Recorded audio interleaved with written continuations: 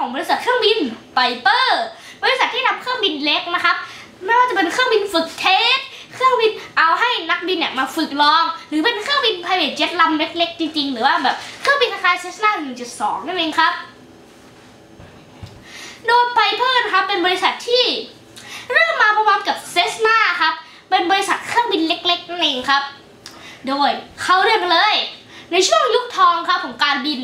ณ ใจกลางรัฐเพนซิลเวเนีย ความฝันได้ทะยานขึ้นสู่ท้องฟ้าครับบริษัท Piper Aircraft Company เดิมรู้จักกันในชื่อ Taylor Brothers Aircraft Manufacturing Company ก่อตั้งขึ้นในปี 1927 โดย Clarence และ Gordon Taylor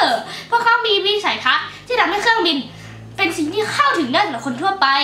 ซึ่งความฝันที่สอดคล้องก็คือนักธุรกิจวิลเลียมทีไ i เปอร์ไ i เปอร์ด้วยความ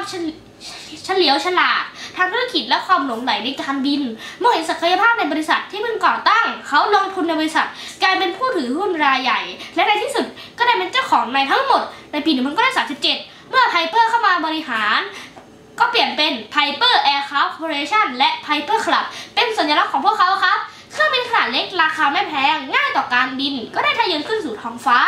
Piper Cub กลายเป็นสัญลักษณ์อันที่ ที่รักของการบินส่วนตัวหรือ private jet อย่างรวดเร็ว